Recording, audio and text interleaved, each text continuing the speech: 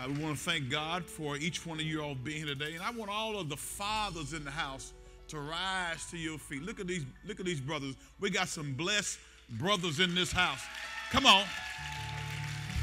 Come on, rise to your feet and stick your chest out. Come on, get a lot of hand of praise for these fathers. Hallelujah. Yeah. We listen, guys. We have some good men in this church.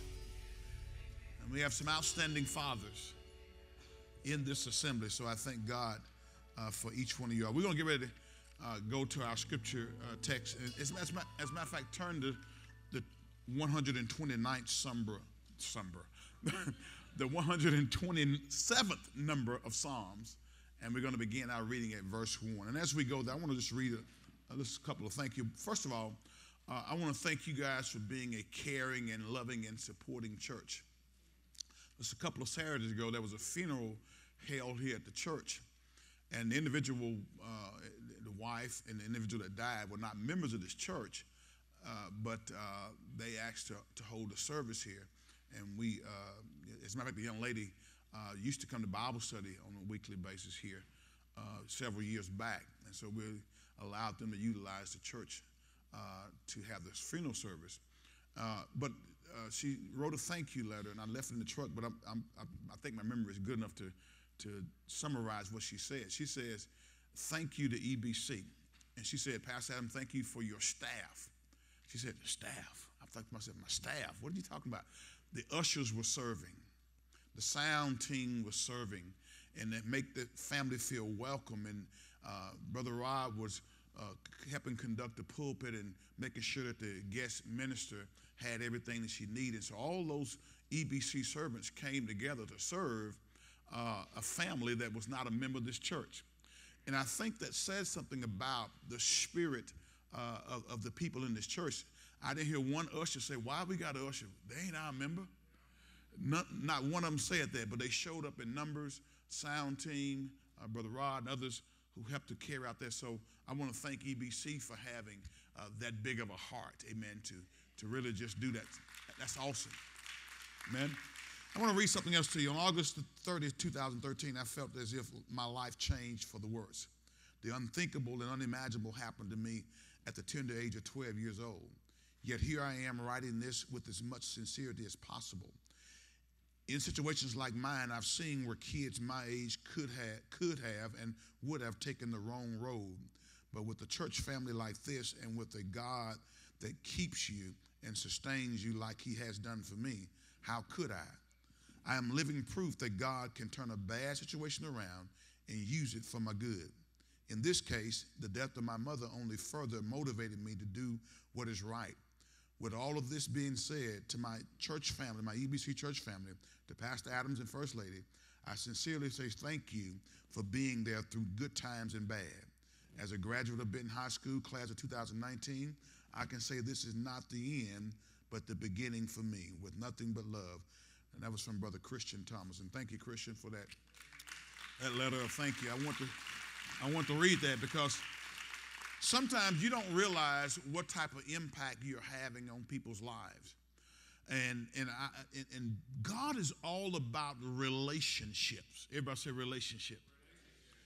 God, we're going to even see in the scripture text today, brought the family together to, uh, to do what he wanted done in the earth realm. And families are all about what? Relationship. And so on this Father's Day, I thought we would take a little different turn and talk about the blessing of fatherhood. Everybody say the blessing of fatherhood. So many times, uh, you know, uh, uh fathers can get uh, a bad rap, I think. Uh, so many times we don't necessarily see uh, and, and appreciate what God is doing through dads, through fathers. And so uh, I want to share some things with you, and hopefully we'll be able to get, get it done today. If we don't get it done today, we get half of it today and half of it next Sunday, because next Sunday is Men's Sunday. Amen. It's G Man Sunday. And so my, my goal is, is to try to get it all today. But if I don't get it all today, amen, y'all just bear with me, okay? Can I get a witness? Brother Bubba, him and Mo, good to see you there, brother. God is good, amen. We've been praying for you. Absolutely have. Listen, uh, Psalms 127. Start at verse number one, if you will, with me. Come on, we're going to read and we're going to go through here. Guys, let's walk through the scripture and let's see what God says about the blessing of fatherhood.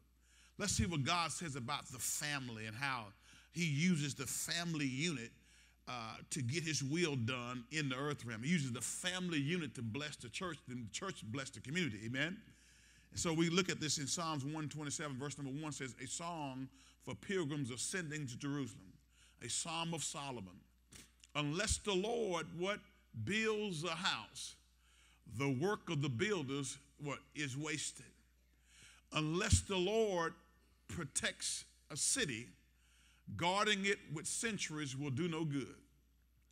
It is useless for you to work so hard from early morning until late at night, anxiously working for food to eat. For God gives rest to his loved ones. Verse number three says, Children are a gift from the Lord, they are a reward from him. Verse number four, now back up and read verse 3 again. Let's read one more time. Sometimes we need to understand this. When, when, when, when, when that child is screaming at 3 o'clock in the morning wanting a bottle, amen, or when that child is being bratty and you got to discipline, sometimes we don't realize this, that children are a what? Gift from the Lord. They are a what? Reward from him. Look at verse number 4. It says this, Children born to a young man are like arrows in a warrior's hand. I like that. Verse 5 says, What? How joyful is the man whose quiver is what? Full of them. He will not be put to shame when he confronts his accusers at the city's gates. Amen. Talking about the blessing of the Father. Go to Ephesians, the sixth chapter, and we'll begin our reading at verse number one there, and we'll go down through verse number four. Ephesians chapter 6, verse number one, and uh, we'll read down to verse number four. Children, Obey your parents because you belong to the Lord. For this is the right thing to do. Next verse. Honor your father and mother. This is the first commandment with a promise attached to it. Can I put that on there? The first promise with a uh, first commandment with a promise attached to it. Verse number three says this. What's the promise? If you honor your father and mother, guess what? Things will go well for you, and you will have a long life on the earth. Right Now, listen, uh, back up to that verse one more time. I could also read this this way and it would be an accurate assessment. If you don't honor your father and mother, things won't go well with you and you won't have a long life on earth. Could we, could, could we make that assessment? Because if you do it, you have it. If you don't, you won't, all right? Verse number four, come on, let's read it. Fathers, oh, fathers, fathers, oh, fathers. Can I call you father? Fathers. Fathers. I don't hear y'all. Fathers. All right. Do not provoke your children to anger by the way you treat them. Rather, bring them up with the discipline and instruction that comes what? From the Lord. Amen. Don't provoke your children to anger by the way you treat them. Rather, bring them up with the discipline and instruction that comes from the Lord. Now, as we get back to Psalms 127, as I begin to share the blessing of Father, do not go to sleep on me, ladies. Because the principles that are borne out through the scripture text are applicable to not only men, but to women also. Are y'all listening to me today? And so when we get back here to Psalms 127, which is our taking off point, uh, we see something right here. This psalm, this particular psalm, uh, was one that was written by Solomon. And we know that in Ecclesiastes, the book of Ecclesiastes, Solomon had stressed, he had stressed the crucial point that life is empty and meaningless without God there. He said, Life is empty and meaningless without God in your life the wisest, the richest, and most powerful man of his time, talking about Solomon, Israel's king, Solomon, shocked his readers when he said that. Because basically, he says, in spite of everything that I've learned, in spite of everything that I've done, in spite of all of the possessions that I have, in spite of all of the achievements that I have, I don't like life. I got a big house. Let me, let me bring it to modern day terms. I got a Benz and a Lexus in the driveway. I'm staying in a gated community with a 5,000 square foot house. My, my son is a doctor. My daughter is a lawyer. Uh, my other son, I mean, is a professional football player. My other, my other daughter uh, uh, teaches school. My children are doing well. I've been married to the same woman for 30 years, 40 years, but I don't like life. That's basically what Solomon was saying. He, had, he was the richest man on earth, and how many y'all know money can't make you happy? Can I get one witness up in here? Ha- now listen, having money in and of itself is not the, the, the, pathway to happiness. There are many people who have money who are miserable. And Solomon had it all. Solomon had women. And let me tell you something, just having women won't make you happy, brothers. I said, brothers. I said, brothers. Having a bunch of women, come on, having a bunch of concubines, and Solomon had a bunch of them, didn't he? Having women and having sex every day won't make you happy. I didn't get one amen on that. I hear some brother brother. Let me try it, Pastor. Let me try it. Solomon was it 300 wives and 700 concubines, or vice versa. He had all these women, and yet he says life is vain. Are y'all tracking with me today? He had everything that the world had to offer all the pleasures, all the possessions, all the power, but none of them brought lasting fulfillment to him.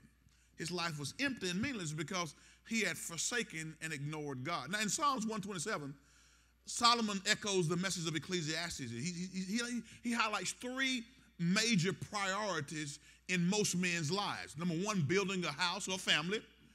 Number two, protecting that family. And number three, uh, uh, uh, uh working hard to provide for that family. I'm going to repeat those again. this psalm highlights three major priorities that's in most men's life building a house or family, protecting that family and surrounding community, and working hard to provide for the family. Can I, can I get a witness? Is that something that most men ascribe to do? Amen. And Solomon emphasized that all are in vain without the Lord. Now, now again, when we look at this passage right here, it's written from the perspective of man for men, but the message of this psalm is true for men and women alike. Okay, so, so don't forget that. Again, women don't go to sleep on midday. Psalms 127 is the first psalm, what they call it, there's, there's something that's called the Psalms of Ascent. Everybody say ascent. In this psalm right here, number 127, is the first of two of the Psalms of Ascent that stress the importance of the home and the family. Now, but Pastor, what, what is the Psalm of Ascent? So in, in Psalms 120 through 134 are known as the Psalms of Ascent. Uh, another word for a psalm is what? A song. And the city of Jerusalem, if you know anything about geography, is situated high on a hill. Okay? And Jews who were traveling to Jerusalem for one of the three main annual uh, festivals, Jewish festivals, traditionally sang songs on the way up to Jerusalem. So that's why they call the songs of ascent. While they were on their way up to Jerusalem, they began to sing these songs that are laid out in Psalms 120 through Psalms 134. Are y'all listening to me today? Okay? And so, so, but, but, but again, when you look at this, uh, the Holy Spirit is, is, is writing this and, and giving the words uh, for these songs here because uh, the Holy Spirit right here, this one, this 127th number of Psalms, was positioned as the eighth number of the 15 ascent Psalms. Y'all got that? So in other words, there was, there was how many of them? 15? And number eight right here is, is 127, which is slap dab in the middle of the ascent Psalms. I don't think that was by accident. It's right in the middle because this 127th Psalm deal with the importance and the centrality of the home. Anything that we do, church wise, government wise, if the home is a wreck, all those other things are going to be a wreck. Can I get a witness? That's why, guys, listen, that's why we, we harp on and we invest a lot of time and money on building uh, marital relationships so that the marital relationship can build a strong family. Because if the families are not strong, guess what? The church will not be strong. It's hard to praise God. It's hard to get involved with kingdom work when you got hell at home. Oh, come on, look at me. Don't look at me like that. When, when, it's hell at home, come on now. You, you, you can come in here, you be crying and stuff, and people think the the Holy Ghost, but you ain't crying because it's the Holy Ghost. You crying because you miserable at home. Anybody ever came to church miserable? Married but miserable? Huh? Or maybe you're, you're single, widowed, or divorced, whatever, but you and you still miserable. You ain't got nobody there with you, you you're miserable by yourself. If the home is not right, it affects all of the other institutions in society. That's why the enemy comes hard after the home. He comes hard after the marital relationship. He comes hard after the relationship between parents and children because he knows if I can mess the home up, then I can mess up God's plan for society. Can I get a witness? Y'all know the story, how it was even back in Genesis. He came to, to, to bring division in the home, but, but what, hap- what happened in that situation was we have a man, Adam, who, who did not reject passivity as we learned that kingdom men ought to do, and he yielded to the influence of his wife and ate of the tree. Can I get a witness? And so as a result, Satan came to attack the, fa- the first family unit, and he's been attacking the family unit ever since. So this 127 number Psalm deals with the, uh, uh, the, the, the, home. Amen. And again, for the most part, guys, it, y'all know this true. Men and women today spend their lives building homes and families, trying to protect them. Amen. Working to provide for them. Okay. Yet at the end of the day, a good number of families are falling apart and they're empty on the inside in, the, in, in, in, time, the marriages start to crumble. In time, the families start to fall apart. And everything they have worked for seems to vanish because somebody left God out. I want to tell you something. Marriage cannot be truly uh, at its highest essence and peak if you don't have God in the middle of it. The Bible says this a three stranded cord is not easily what? Broken. And when it's you, if it's just only husband and wife in the relationship and God is left out, that relationship can be more easily broken than it can if God is in the middle of it. Everybody said the blessing of fatherhood.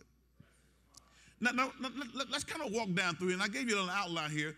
Uh, the first thing we want to make a note of is don't build your house or don't build your home without the Lord. Touch your neighbor and say, neighbor, don't try to build a home without the Lord. The first thing, again, look at what happens. Building a house or a family without the Lord results in a weak base. And only He can give a firm foundation. Now, watch this. Only He can give a firm foundation. Foundation is critically important, y'all. Uh, again, I remember, most of y'all know I used to work in banking for 17 years, and I remember uh, I remember very vividly when they were building, I used to work in, uh, it's called Commercial National Bank Towers, now Regions Tower downtown, which is the tallest building in downtown Shreveport. And I can remember when they were building that, that, that tower, this is several years ago, and, and I drove down Texas Street where that tower is located, and while they were building it, they, they went deep down into the ground before they started coming up below the surface. And deep down into that ground, in that open pit, there was a lot of steel, rebar, amen, in the foundation of the building. Because you can't build a, what, 26, 27 story tower and have a faulty foundation. Over a period of time, as the earth moves and shifts, it's going to end up tilting and cracking if the foundation is not right. And guys, I'm gonna tell you something. Some of us, amen, have done the, a, a, a poor job of building a solid foundation for our families. Do you not realize that most people will spend tons of money on a wedding? Hear me, hear, hear, y'all hear me carefully. Will spend tons of money on a wedding and, and little to no money on preparing for marriage. Spend tons of money on dresses, gowns, tuxedos, receptions, food. Any y'all have to pay for that anymore? Anybody have to pay for a wedding here lately? Yeah, I, I, know you two have, right? All right, and or your mom and daddies have, okay? All right. I, I know y'all, y'all, y'all, y'all getting uh, y'all on, on, y'all on the pathway, amen. But but it costs a whole lot of money. But you, you we are foolish to spend all that money and time looking pretty, having a nice wedding, beautiful pictures, videos, and all that. But yet we fail to spend any quality time, any measurable time pouring into the foundation of the marital relationship. And as a result, we have marriages cracking all across this country because of no, no solid foundation. Are y'all with me? So, building a house without the Lord, trying to build a family without the Lord, is going to result in a weak base. And only God can give a firm foundation. Now, when the, when the remnant returned to Jerusalem, uh, few houses were available. And, and, as the men labored to build dwellings for their families as they're coming back home, this psalm exhorted them to build their homes on a firm spiritual foundation, just like they built their houses on a solid physical foundation.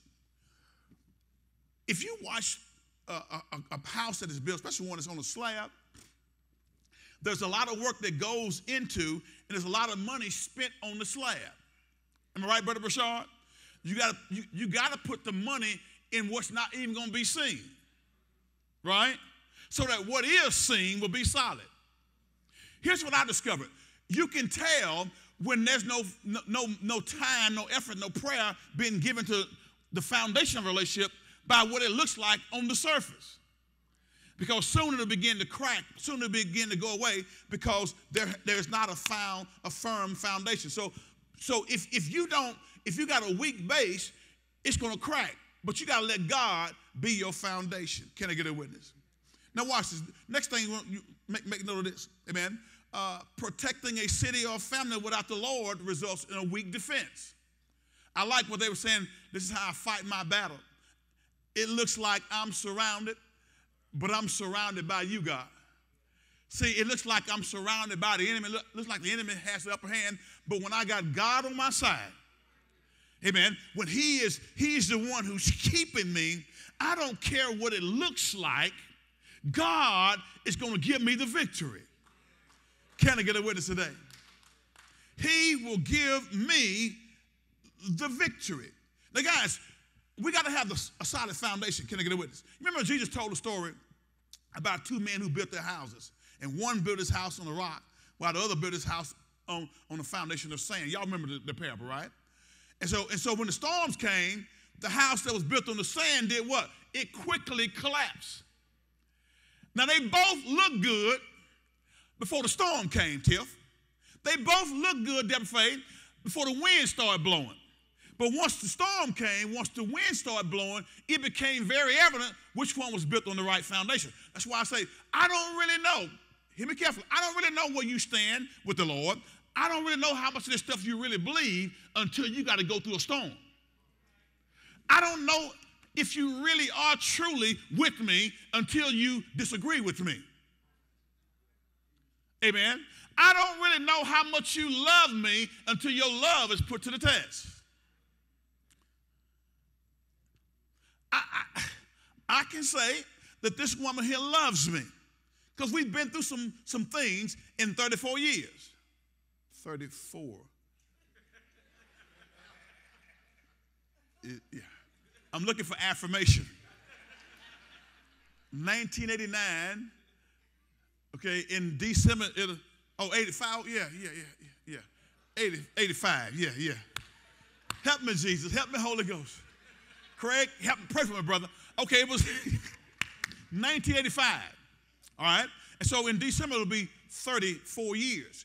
And do that, do that, during that 34 years of, of marital relationship, there's been some ups and downs. Thank God there have been more ups and downs, but we've had to go through some things. We have to, we have some challenges we have to face, and, and God has helped us through those things. And through those challenges, I understand more so than ever that this woman loves me.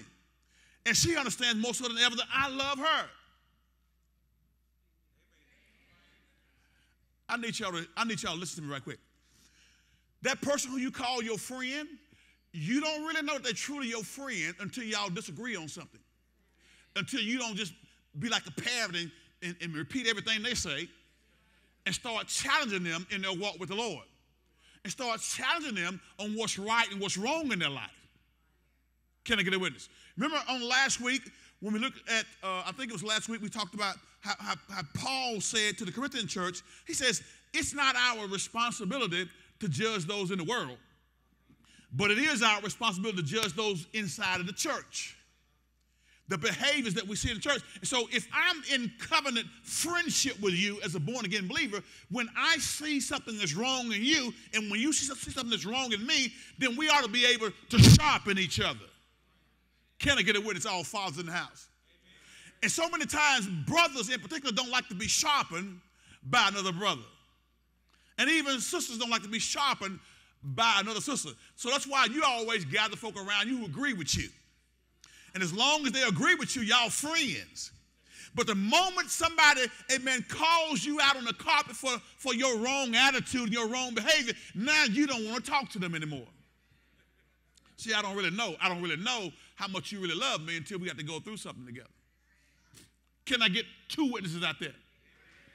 Because the person who you think is with you will turn out to be against you when you're going through some things that, that are not necessarily uh, always just pleasant and right, right on the line. But the foundation, amen, has to be established. The, the one that was built on the faulty foundation, amen, when Jesus gave that parable, it, it blew away. Amen. It did not stand the storm. The only foundation that is solid is God and His Word, y'all. As that old hymn says, it says, On Christ the solid rock I stand. All other ground is what? Sinking sand. And so I'm going to build my relationship in the church and outside of the church on the solid foundation of Jesus Christ. Amen? Amen? Everybody say the blessing of fatherhood. All right, so, so, so first of all, we got to, you know, building a family, we got to realize without the Lord results in a weak base, and protecting a family or city without the Lord results in a weak defense. Only He can give true security. Now, I know, uh, how many y'all got a gun at your house? You ain't got to raise your hand, but how many got a gun? All right? Nothing wrong with having a gun. Is that Second Amendment right? To possess a firearm. But guess what? You can have a firearm and still not be protected. Nothing wrong with having a gun. All right? But how many you know there are folk who've had guns who've gotten killed? There are folks who have guns who who who who uh, uh, you know are no longer here. And so the gun itself is not the protection. Now it's good to have it, but you can't trust in the gun. Oh, y'all, y'all don't want to hear that? In other words, you can have it, but you better trust your God. Listen to me carefully. Uh, I believe that uh, sound financial responsibility would, would, would, dictate and determine that we make sure we watch our monies that come in. We have a budget, that type thing. But how many you know you can have a budget, but if you ain't trusting God, your whole budget can be blown with one call, phone call? Hello? Some unexpected, that miscellaneous, that stuff that you didn't see coming. Come on. And so now all of a sudden you get a phone call or something happens that's going to cost you $10,000 to get it fixed and you can't borrow the money. So where's it going to come from? Now that budget is blown, so I, I better trust God and not the money because money has wings to do what? It'll fly away. Amen. Learn how to trust God. So protecting a city of family without the Lord results in a weak defense. Only He can give true security. Look at Psalms 127 with it one more time and look at the, the B part of that first verse. The blessing of fatherhood. We're going to get down here. Can we move? Psalms 127, verse 2 says, uh, number one says, the Psalm of Solomon, unless the Lord builds a house, the work of the builders is wasted. Unless the Lord protects a city, guarding it with centuries will do no good uh, unless the Lord protects a city. Come on now. Unless the Lord does it, amen, guarding it with watchmen won't do any good. Because I'm gonna tell you something. There's there's things that happen in life that that that all of our planning and all of our strategy won't help us to be prepared for. I'm going to tell y'all something. Uh, we, you know, let, let me just tell it like it is.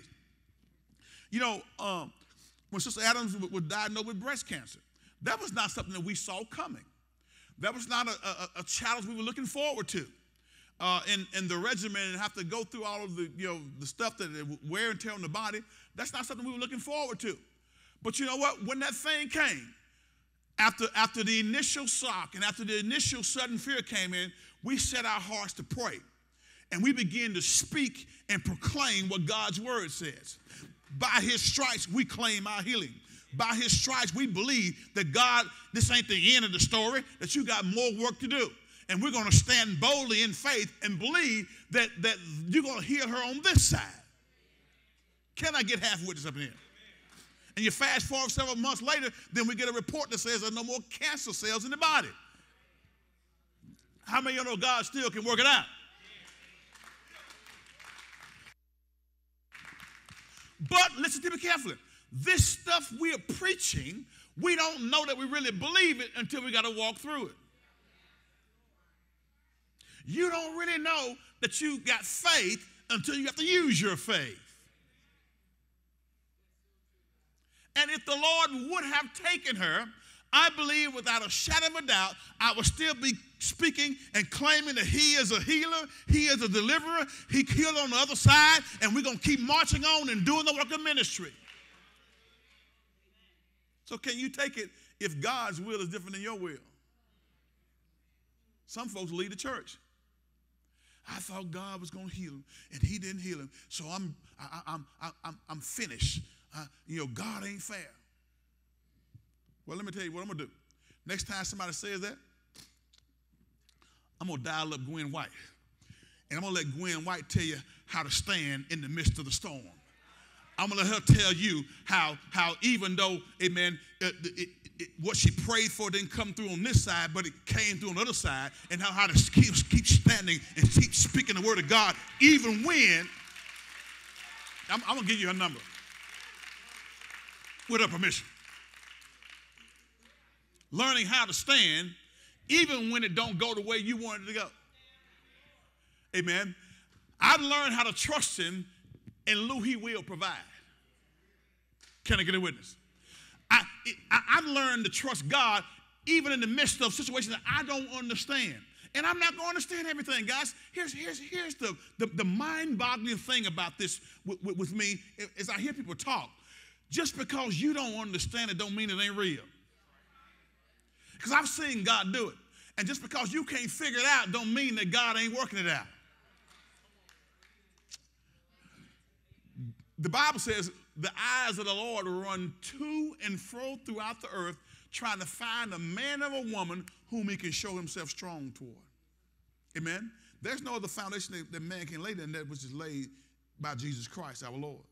And so we got to realize that we got to have the proper foundation. But protecting the city, the family without the Lord results in a weak defense. Only He can give true security. The third thing I want you to just make note of in your outline is that number three, working long, hard hours without the Lord yields no lasting satisfaction. Only He can give true rest and eternal fulfillment. Can I get a witness? See, you think you building, you think you protecting on your own, but but but again, uh, uh, it's the Lord. So, so, so, so think about this for a second. Because Jerusalem had fallen to a foreign enemy, securing the city was a top priority for the men who brought their families back to the promised land. In fact, they rebuilt the walls of Jerusalem before they focused on building their houses. Because remember, during these period of times, uh, that cities, if they didn't have a fortified wall around it, were subjected or uh, were open to the attack of the enemy. So it was very important that they build, amen, walls around the city. Okay? Now again, but but again, even though you build a wall, even though it's good to have a security system, it's good to have a gun, but don't trust in the security system and the gun to protect you. Trust in God to protect you. Can I get a witness? It's good to have a savings account. It's good to have money put aside for when those rainy days come, when there's an emergency that pops up, we ought to do that. That's wisdom. But don't ever trust in the money because the money can be sucked up. Can I get a witness? The money can go away with any number of emergencies. Uh, anybody who's ever had to go through an extended illness knows that money begins to suck to begin to be drawn away by those doctor bills that come in. Can I get two witnesses up in here? And so, so, so even though you had that planted away, trust that God is the one who's gonna provide for you. Can I get a witness up in here? So, so Jerusalem uh, was, was, a strong, well-protected city, when, even when the Babylonian army had invaded, because what had happened was the people stopped looking to God and started looking to each other. Trust God to protect you, amen. Do everything you can, amen, humanly possible, but trust that God is the one who's going to protect you and keep you from hurt, harm, and danger. Can I get a witness up here? The Bible says this in 2 Thessalonians 3 and 3 But the Lord is faithful, who shall establish you and keep you from evil. It also says this in 2 Timothy 4 and 18 And the Lord shall deliver me from every evil work and will preserve me unto his heavenly kingdom, to whom be glory forever and ever. Amen. Yes, he will. Amen. So again, let's get to this third point again. Working long hours, amen. Working long, hard hours without the Lord yields no lasting satisfaction. I can't tell you the number of times I've talked to people who, who after having careers for 35 and 40 years, regret the fact that they didn't spend enough time with their children. They regret the fact that, that they didn't spend time with their children and they spent all their time working, thinking that work was going to bring fulfillment. I'm here to tell you that work is good and men ought to work because if man don't work, y'all not what? You uh, sound like that's deep in y'all spirit, isn't it? If a man won't work, he shouldn't what? All right? If, he, if a man won't work, he shouldn't what? He shouldn't eat, right? So it, it is important work, but guys, what we got to realize is that, that, that our life consists of more than just building a career. Careers are great. Advance as far as you can, but don't neglect the fact that you got to give time to God and to your family. Can I get a witness up in here? So working long, hard hours without the Lord yields no lasting satisfaction. Only He can give true rest and eternal fulfillment. Look at verse, go back to verse number two of this 1 and 27 number of Psalm. A lot of people working long, hard hours, going to work early, coming home late, working on weekends. And a lot of times your most your precious priority is your career. Guys, don't do that because I'm here to tell you, uh, uh, when it's all said and done, and y'all know this to be true, when it's all said and done, when you finally retire, you leave there, people gonna cry, they'll give you a gold watch, they're gonna tell you they don't know what they're gonna do without you, but guess what? They're gonna keep doing what they're doing without you. And, and they ain't gonna keep up with you like they say they are. We're gonna stay in touch. No, they ain't. 99% of them not. Come on. Because it was a work relationship. You only saw them at work. And some of y'all know, some of y'all saw them in the grocery store and they act like they didn't know who you were. If you get my drift. So, so, so don't, don't, don't be so, I mean, be committed, be faithful, do work hard to the Lord. But what I'm saying is, don't ever mistake the fact that, that work is not all what life is all about. Touch your neighbor and say, hey, relax a little bit. Say, yeah, I said, chill out. Some people are convinced that, they that they'll be happy and fulfilled when they achieve a certain goal or advance to a certain level uh, or, or, or, getting that raise or make a certain amount of money.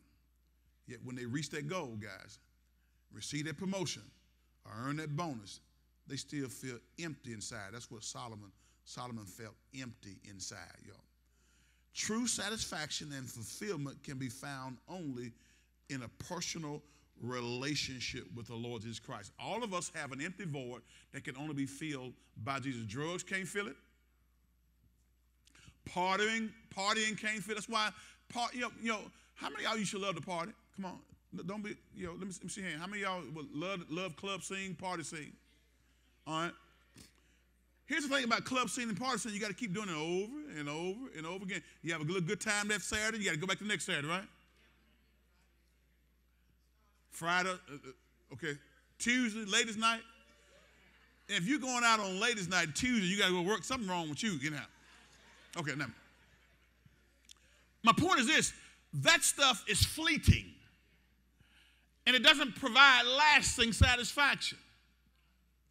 Only Jesus and a pure relationship with Him, not just coming to church, but having a personal, intimate relationship with Jesus where He's involved in your decisioning, He's involved, he's involved in the planning for your family, your life.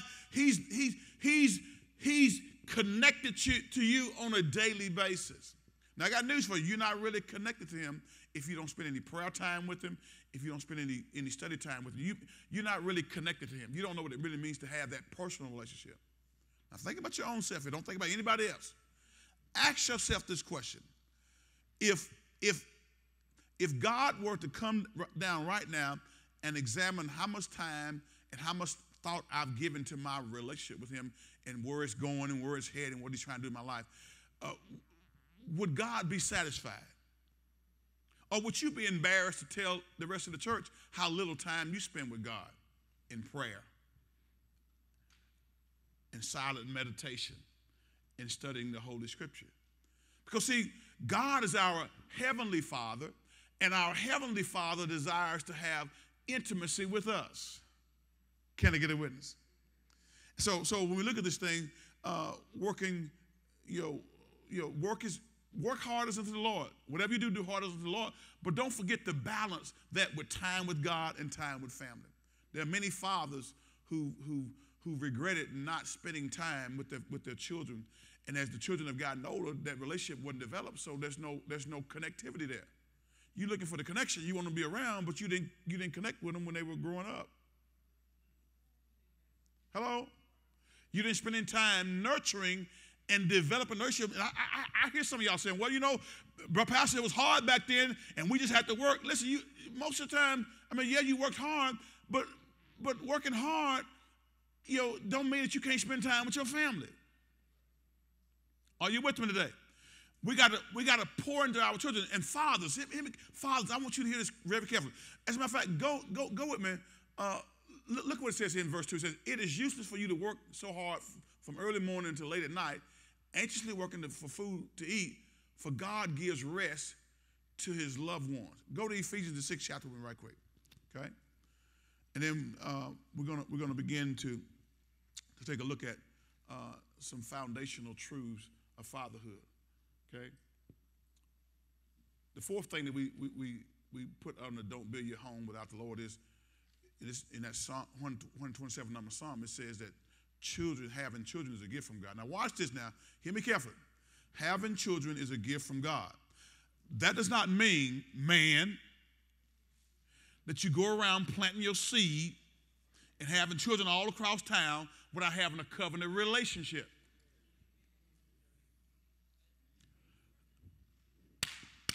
Brothers, and some guys, it, it, it, just baffles my mind. They beat the children. Yeah, I got nine children. Ain't married to none of the wives and ain't supporting none of them. And then want a gift for father.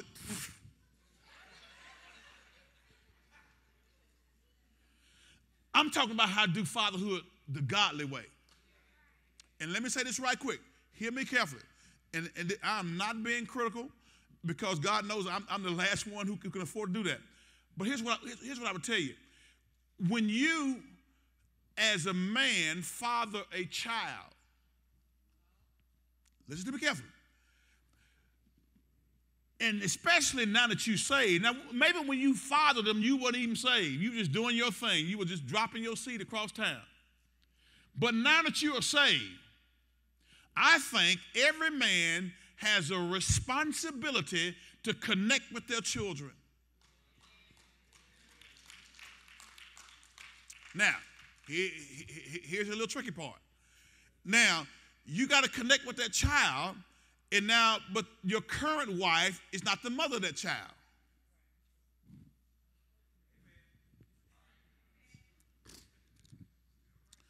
Okay, so what happened before you got married shouldn't prevent you from fulfilling God's design for a father.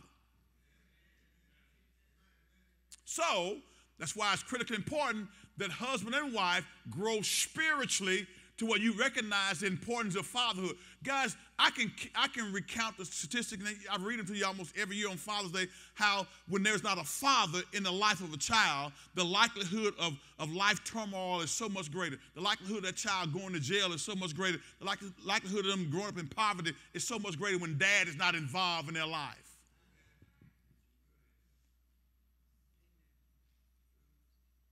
But here you are, lady, mother, wife, saying, um, um, um, um, if you go over there and try to establish a relationship, what it gonna look like? What it's gonna look like what it is. It, it's his child.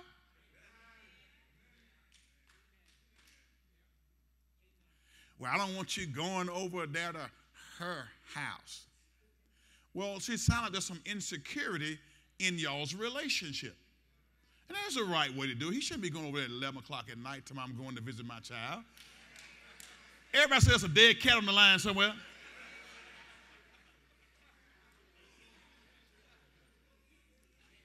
I, I just heard some of y'all say, oh, no.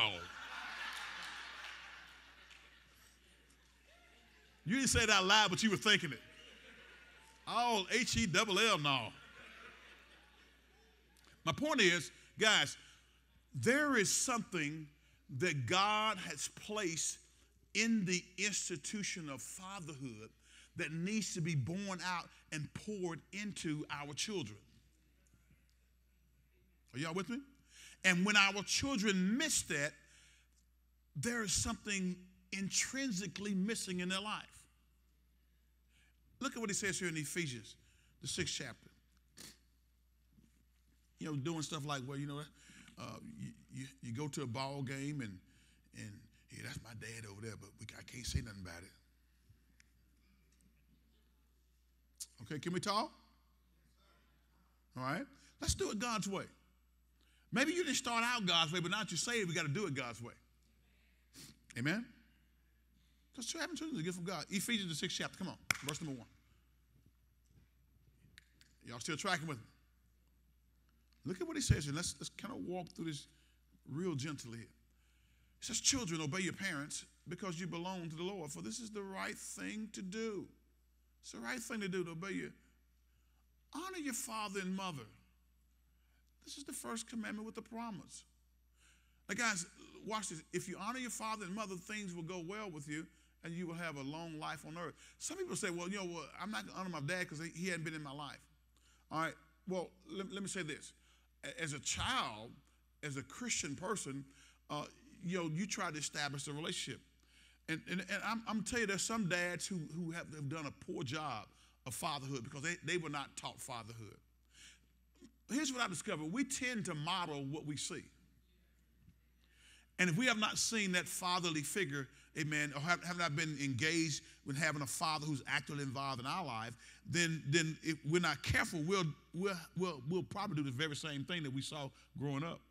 But here's what we're doing at EBC. Now, I'm going to tell you, now, men, if you want to know about manhood, authentic manhood, start coming to our G Men breakfast. Isn't I right about call? We learned some things. And there's, there's some things that we learned that we didn't know and that we've learned in the last five to six years about authentic manhood, about what it means to be a real man what it means to be a man who pours into your children, what it means to be a man who, who leads your family spiritually, a man who, who, who can pour into your children and rear them up in the nurturing atmosphere. Lord, We're learning those things. We're learning how to be better husbands.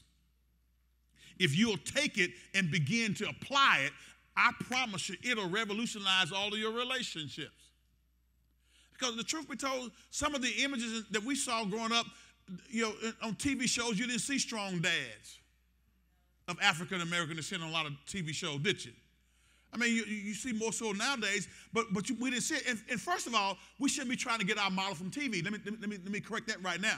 You don't need to learn about fatherhood from TV. Because if you go on TV now, you're going to see a dad and his husband trying to rear children and, and, and Hollywood has interwoven and is trying to make normal what's abnormal. Trying to make, make, make, make what's, what's, what's illicit proper. And God has a way of doing life. God said, Therefore, should a man leave his father and mother and should cleave unto his wife, and the two shall become one flesh. And if children are a gift from the Lord, two men can't produce a child, and two women can't produce a child. So, I mean, again, I love everybody, and I'm gonna minister to everybody. I'm not gonna throw, throw darts at anybody, but I'm gonna preach truth. And we're gonna stand on truth. I mean, guys, uh, we had a young lady one time who was a member of this church, and because of us explaining what the stance is on homosexuality, she decided she couldn't be here because her brother had that lifestyle. I said, I said, I'm sorry, but this is what the Word of God says. I love you, and if your brother come, I love him. We'll minister to him, but we're going to keep preaching what the Word of God says. Okay? Okay. Well, I got a cousin. Well, I, that's your cousin, but your cousin is wrong.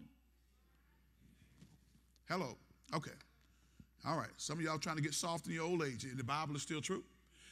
And the natural order of things exposes itself by the natural order. Okay? It's, it's a reason why God did it the way He did it. Now look at Ephesians right. If you honor your father and mother, things will go well with you, and you will have a long life on earth. Now watch this. Look at this. Here, here's the key thing I, I, I want to get to. Fathers, do not provoke your children. Do not provoke your children to anger by the way you treat them. Okay? Here's what every child is looking for they're looking for a father who loves them. Now, let me, let me say this right quick. I've said it before and I'll say it again. The example of fatherhood comes from God and his relationship with Jesus Christ, his son. Now, it's hard for us to fathom how can it be three and one, yet he's father and yet still son? The Bible says great is the mystery of godliness and how it was that, that God poured out of himself and became born uh, uh, uh of, of, of, humankind in the manger Bethlehem. That, that's a great mystery.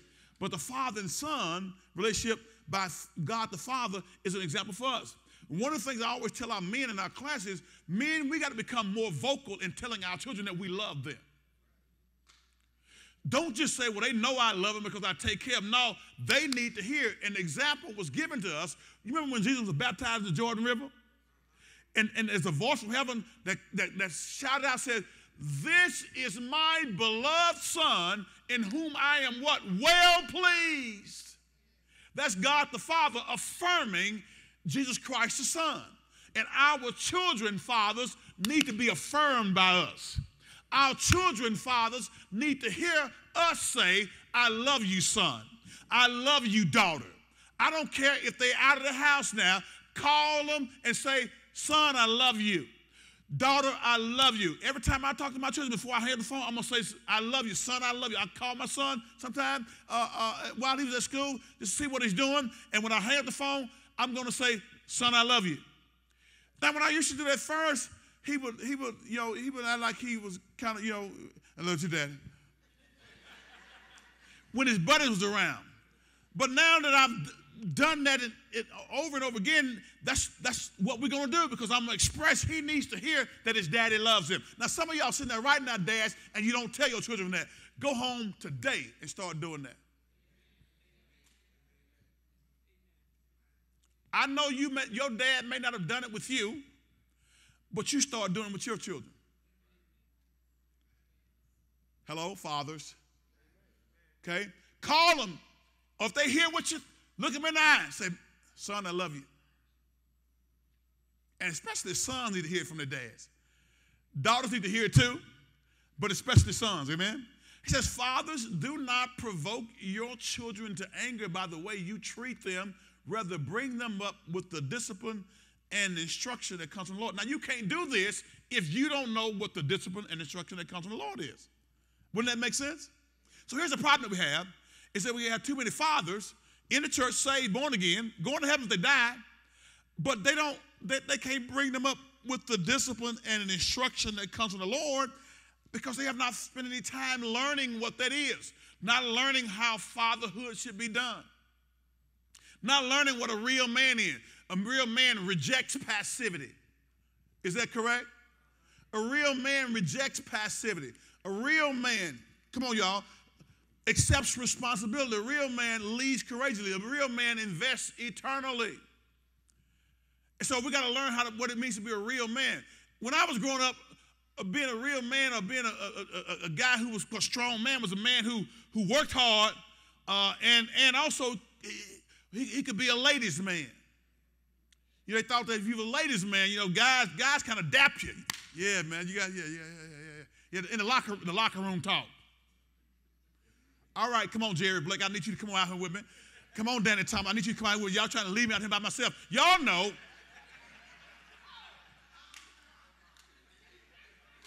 Y'all know. come on, Danny say, okay, we wish you, wish. Back in the day, before we start understanding authentic manhood, back in the day before there was a manpower and, uh, and a promise keepers, uh, men were thought to be, you know, uh, up here if they had a good job, took care of their families, and okay, somebody said something on somebody's side, something or whatever, or either before you were married, you didn't date just one lady, you had two or three ladies.